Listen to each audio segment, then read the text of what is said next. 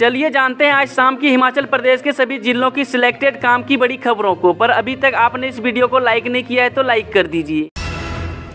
क्या हिमाचल में टूटेगा रिवाज? मिशन रिपीट पर बीजेपी चुनाव प्रबंधन समिति की अहम बैठक आज। जय हिमाचल प्रदेश विधानसभा चुनाव के लिए मतदान प्रक्रिया पूरी हो चुकी है। कांग्रेस, बीजेपी दोनों ही अपनी अपनी जीत कर दावा कर रहे हैं। इस बीच हिमाचल बीजेपी चुनाव प्रबंधन समिति की बैठक होने जा रही है। यह बैठक जिला सोलन के परवाणु के निजी होटल में सुबह साढ़े दस बजे शुरू होगी। बैठक में बीजेपी के आला नेता जुटकर यह आकलन करने की कोशिश करेंगे कि क्या बीजेपी रिवाज बदलकर मिशन रिपीट करने जा रही है या नहीं।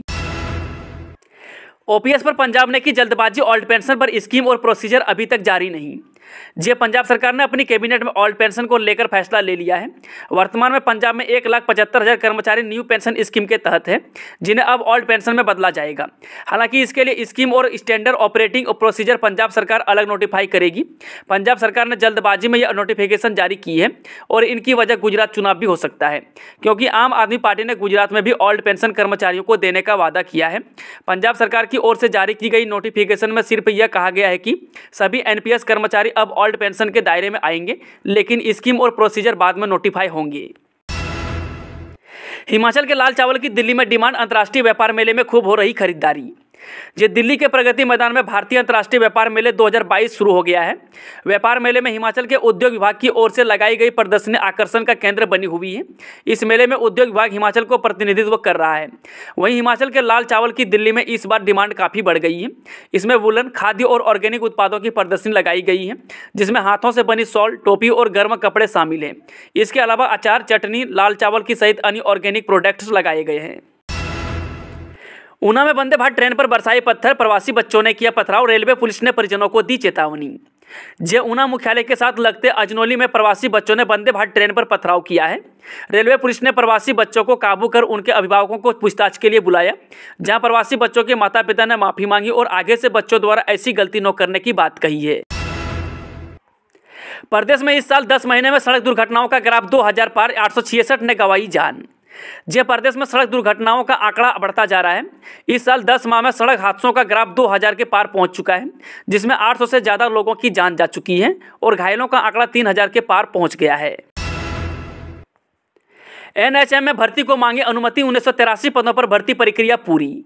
जिन राष्ट्रीय स्वास्थ्य मिशन के तहत सामुदायिक स्वास्थ्य अधिकारियों के 723 पदों से सहित staff, nurse, female health worker और लैब टेक्नीशियन के नौ पदों को भरने के लिए भर्ती प्रक्रिया पूरी हो चुकी है।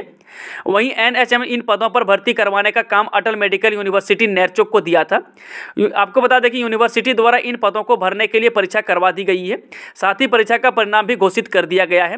वहीं परीक्षा परिणाम के बाद मेरिट लिस्ट भी बन चुकी है। ऐसे में अब NHM इन पदों पर उत्तीर्ण उम्मीदवारों को नियुक्तियाँ प्रदान करना चाहता है, लेकिन आचार संहिता के कारण नियुक्ति नहीं हो सकती है। ऐसे में राष्ट्रीय स्वास्थ्य मिशन ने निर्वाचन आयोग से इस मामले की अनुमति के लिए पत्र लिखा है। गगनयान पर एक और कामयाबी मिशन के पैरासूट रिकवरी सिस्टम पर इसरो का सफल ट्रायल। जे भारतीय अनुसंधान अंतरिक्ष संगठन के गगनयान मिशन पर मिशन पर पैरासूट रिकवरी सिस्टम आगरा स्थित हवाई वितरण अनुसंधान एवं विकास संस्थापन में तैयार किया जा रहा है। वहीं एडीआरडीई की टीम ने झांसी के पास ड्रॉपिंग जोन में पैराशूट रिकवरी सिस्टम का परीक्षण किया। वहीं आपको बता दें कि आई एल विमान से आसमान में मोटार से पैराशूट दागा गया। यह परीक्षण सफल रहा। पाँच हज़ार किलोग्राम वज़न के पेलोड को सही तरीके से ज़मीन पर उतार दिया गया। इसकी मदद से परिक्रमा के बाद अंतरिक्ष यात्री क्रू मॉड्यूल से धरती पर लौट सकेंगे। टेरर फंडिंग पर छात्र गिरफ़्तार, विदेश से आईएसआई के जाल में फंसा संगरूर का युवक। जे पंजाब की एक यूनिवर्सिटी के छात्र को टेरर फंडिंग के आरोप में गिरफ़्तार किया गया है। आरोपित मूल रूप से पंजाब के भवानीगढ़ जिला संगरूर का रहने वाला है। उसे स्टेट स्पेशल ऑपरेशन सेल ने गिरफ़्तार किया है। एसएसओसी की टीम ने आरोपित युवक को सीक्रेट इन्फॉर्मेशन पर चंडीगढ़ से गिरफ़्तार किया है। आरोपी युवक विदेश में बैठे लखवीर सिंह लंडा और लॉरेंस बिश्नोई गैंग के सदस्य गोल्डी बराड़ का साथी है। इसके अलावा विदेश में बैठे आई में के गुर्गे स्टूडेंट के बैंक खाते में रुपये भेज रहे थे। वहीं आपको बता दें कि आरोपित की गिरफ्तारी उसके बैंक अकाउंट डिटेल के आधार पर हुई है। ईवीएम की सिक्योरिटी जांची रूम की चेकिंग करने खुद फ़ील्ड में उतरे मुख्य चुनाव अधिकारी। जो हिमाचल प्रदेश में मतदान के बाद ईवीएम की सुरक्षा को लेकर खड़े सवालों के बीच मुख्य चुनाव अधिकारी खुद स्ट्रांग रूम का जायजा लेने के लिए फ़ील्ड में उतर गए हैं। इससे पहले जहाँ उन्होंने शिमला जिला स्ट्रांग रूम दौरा किया था तो वहीं अब वह सिरमौर जिला के दौरे पर है। इसके बाद अन्य जिलों का दौरा भी किया जाएगा। उनका कहना है कि प्रदेश में ईवीएम कड़े पहरे में है। सीसीटीवी कैमरे से भी निगरानी की जा रही है। प्रदेश में एक हफ़्ते तक बारिश के आसार नहीं सुबह शाम बड़ी ठंड जो हिमाचल प्रदेश में पाँच दिनों तक मौसम शुष्क रहने के आसार हैं। इससे लोगों को ठंड से कुछ राहत मिलने की उम्मीद है। मौसम विज्ञान केंद्र शिमला के अनुसार प्रदेश में 25 नवंबर तक मौसम शुष्क रहने की संभावना है। हालाँकि 19 नवंबर को उच्च पर्वतीय एक दो स्थानों पर बारिश बर्फबारी की संभावना जताई गई थी, लेकिन इस दौरान भी मौसम साफ़ बना रहा है। वहीं नवंबर के पहले पखवाड़े में ही पहाड़ों पर कड़ाके की ठंड पड़नी शुरू हो गई है। हिमाचल के कई शहरों का तापमान जमा बिंदु से भी नीचे गिर गया है। कुछ शहरों का पारा पाँच डिग्री तक लुढ़क गया है। सर्दी, बढ़ने और पीने के पानी की पाइपों के जमने से पहाड़ी लोगों को मुश्किल हो रही है। इस ठंड का इम्पैक्ट पड़ोसी राज्यों पर दिखने को लगेगा। छोटी काशी मंडी के मुख्य मोक्षधाम में ग्रीन क्रिमेटोरियम तैयार करने का काम शुरू। जो छोटी काशी के मुख्य मोक्षधाम में ग्रीन क्रिमेटोरियम तैयार करने का काम शुरू हो गया है। इस ग्रीन क्रिमेटोरियम का निर्माण अमेरिका में बस मंडी निवासी शिक्षाविद पुष्प कपूर के सहयोग से किया जा रहा है। पुष्प कपूर प्रतिभा पुष्प फाउंडेशन नाम से एक सामाजिक संस्था चलाते हैं और फाउंडेशन की ओर से इस मद पर 25 से 30 लाख रुपए खर्च किए जा रहे हैं। वहीं आपको बता दें कि ग्रीन क्रोमेटोरियम से पर्यावरण संरक्षण के प्रयासों को बल मिलेगा, क्योंकि धुआँ उत्सर्जन घटकर लगभग आधा हो जाएगा। सिस्टम में करीब सौ फीट ऊँची चिमनी लगाई गई है। जम्मू कश्मीर के अनंतनाग में सुरक्षा बलों और आतंकियों के बीच मुठभेड़, लश्कर ए तैयबा का एक आतंकी ढेर। जे केंद्र शासित प्रदेश जम्मू कश्मीर के अनंतनाग ज़िले में रविवार को सुरक्षा बलों और आतंकियों के बीच मुठभेड़ हो गई।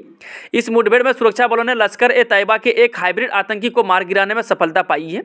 वहीं पुलिस ने बताया कि दक्षिण कश्मीर में बीच बेहरा के चेकी दूदू इलाके में आतंकियों की मौजूदगी की सूचना के बाद घेराबंदी और तलाशी अभियान के दौरान मुठभेड़ शुरू हुई है।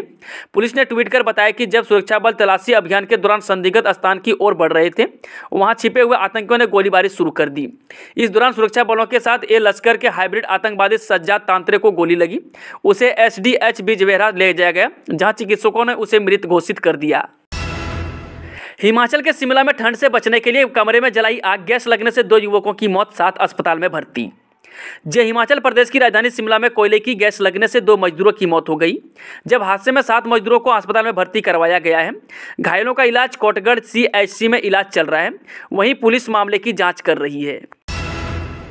चलिए वहीं चलते हैं आज शाम की आखिरी खबर। अप्रैल में तीन दिन मणिकर्ण में रुके थे आफ्ताब और श्रद्धा। गेस्ट हाउस संचालक ने बताया कैसे थे दोनों के हाव भाव जय सरदा वालकर और आफ्ताब मणिकर्ण के गेस्ट हाउस में तीन दिन तक रुके थे।